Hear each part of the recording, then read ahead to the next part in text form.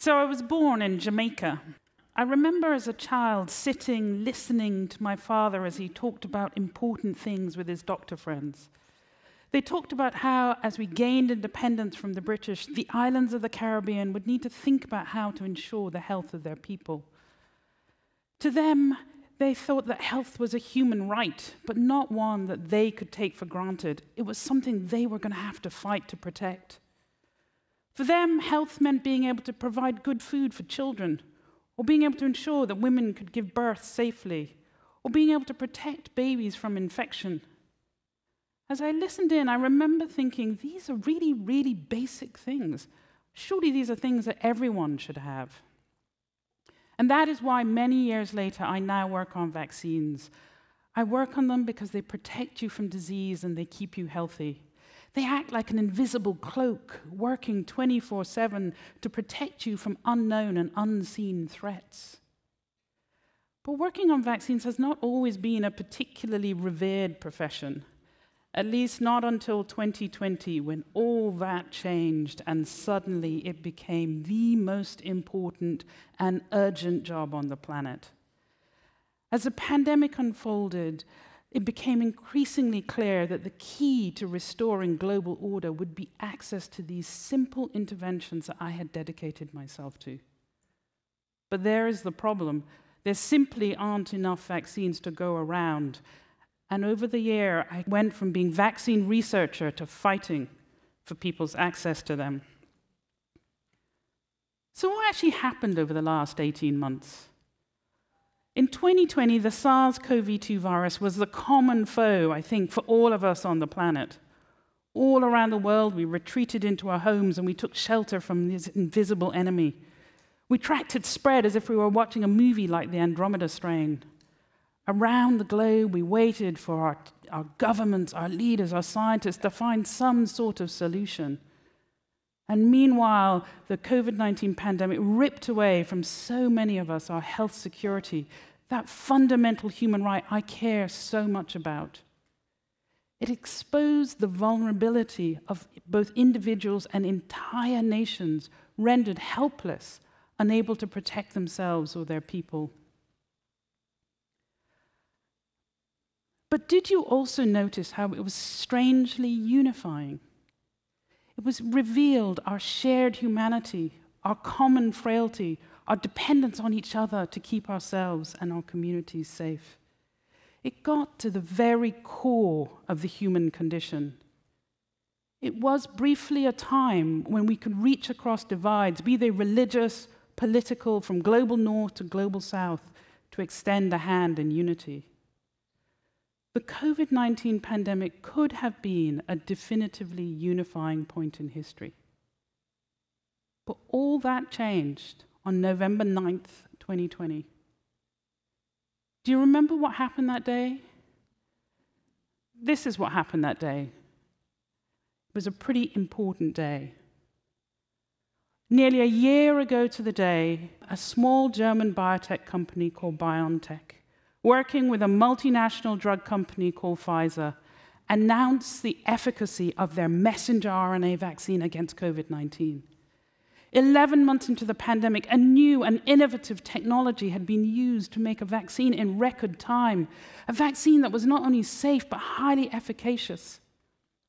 November 9th, 2020 is a day that should go down in history as one of mankind's most glorious moments, a triumph of science and innovation. A day when scientists showed their ingenuity and their progress to combat disease. Since then, since the invention of mRNA vaccines, they have been an amazing success. They have saved millions of lives. They have kept many people out of hospital. Can you imagine dealing with the alphabet soup of variants without a vaccine? Can you imagine not being vaccinated during these roller coaster rides of Alpha and Delta? So far, we have been really lucky and we haven't needed a new vaccine. But if we do need one, I'm sure you all agree it's reassuring we could make one with mRNA. But before you get too carried away with that version of events for 2021, let me show you some data. This graph shows you the share of the population fully vaccinated against COVID 19. In green, the United States, in India, in blue, my homeland, Jamaica, in red, and Kenya in brown. As of last month, about 60% of the US population were fully vaccinated. But compare that to Kenya, where it's less than 2%. This is the reality of vaccine inequity. So, how did we get here? How, let's look at the timelines for rollout of vaccine in these different countries. As many of you recall, vaccinations began in the US in December and then rapidly increased over time. In India, vaccinations didn't begin until March, and then they slowly increased. In Kenya and Jamaica, vaccinations didn't begin until May. In Kenya and Jamaica, they cannot manufacture vaccines. And that delay was a major loss of life. And in the case of India, allowed the emergence of the deadly Delta variant. So, what I have shown you is that unlike that global unity of 2020, 2021 essentially became two pandemics. On one hand, um, access to vaccines became the ultimate definition of the have and the have nots. For those of us in America, anyone who wants a vaccine can get one. In contrast, in Africa, people are having to fight for access to vaccines. And in the absence of a vaccine solution, all they can do is hope that a more deadly variant doesn't emerge. So, that amazing result of November last year was, in fact, a fork in the road.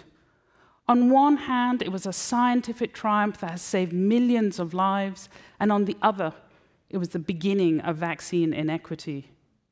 It heralded a crack in our global unity, a crack that has widened with time to form a chasm between people, a chasm of unprecedented proportion.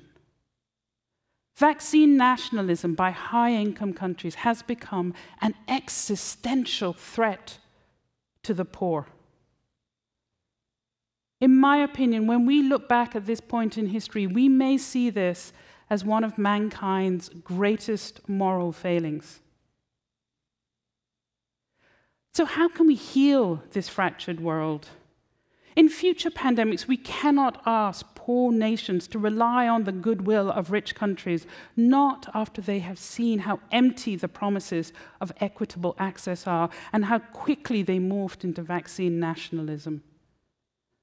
To heal this divide and to ensure that this inequity never happens again, more countries must be able to manufacture vaccines for themselves. Let's just take Africa as an example. Africa is a continent of 1.2 billion people.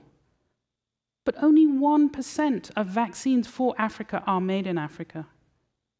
So, why is that? Because Africa is woefully underserved by vaccine manufacturing, and they are almost entirely dependent on other countries to make and supply these essential medicines. So, how are we going to fix that? How is the world going to build enough vaccine factories to serve everyone? Well, fortunately, there is a new technology that might help make this possible. So, what is that, you may say? It's the same innovation that happened last year. It's mRNA. So, what many of you, or most of you, don't know is that mRNA vaccines are actually manufactured using a totally disruptive approach. Unlike ordinary vaccines, where every vaccine requires a special boutique facility and every facility can cost hundreds of millions of dollars to build, mRNA vaccine factories can all be built the same. And to make a vaccine against a different disease, you can use the same factory and all you do is to plug in a different genetic code. And this is what makes them cheap and easy to build. And this is what will help democratize access to them. And can more countries around the world access them regionally? Well, yes, this is another aspect of their disruptive potential mRNA factories can be built like those prefab houses where every house is identical and able to serve your every need. And like them, they can be built in one place and then shipped all over the world. Because they are essentially clones of each other, they can be coordinated and work in a network. They can be daisy chained together to provide vaccines for all of humanity in times of crisis. I think this is the game changer that poor countries need to bridge the gap. This is the leapfrog technology that will allow us to access vaccines in future pandemics. So, is there a way we can get more vaccine factories to people around the world? Yes, and this is exactly what the mRNA companies are beginning to think about. The same pioneers that invented the mRNA vaccines in the first place are thinking about how to deploy their technology. So, how can we all come together to help with this bold effort? So, firstly, people will need to be trained to do the work. Manufacturing vaccines is really, really complicated, and we must ensure the safety and the quality of every single dose produced. And we will need to teach people in different regions how to do that. Secondly, there are infrastructure problems that poor countries will need to address. They will need to build facilities. Their governments will need to provide water and power and ensure that they are kept to standard. They will need to think about sustainability. This is what organizations such as PAHO, the Pan American Health Organization, and PAVM, the Partnership for African Vaccine Manufacturing, are doing. They are working regionally to make this happen. And lastly, the entire world needs to come together to finance this.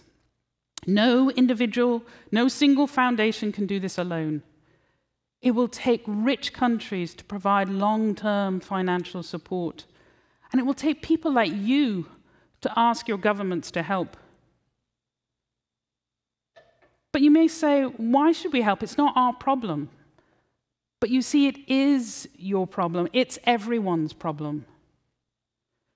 Think of it like this like a global insurance policy, but a policy to protect not just poor countries, but all of humanity against the next pandemic. And because all of us will benefit, all of us should pay. For health security, access to vaccines is like access to the internet for the digital revolution. Can you imagine not being able to log on during an emergency? This is the same. Can you imagine being in the middle of a pandemic and not being able to access a vaccine? In the next pandemic, let's make sure that everyone can access the RNA network. I can assure you that pandemics will happen in the future. But the divisive nature of our response to this one was a self inflicted wound that should never be allowed to happen again. Let's.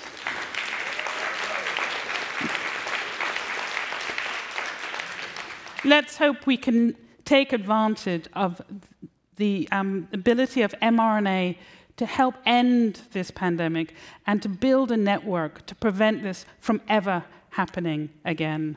Thank you.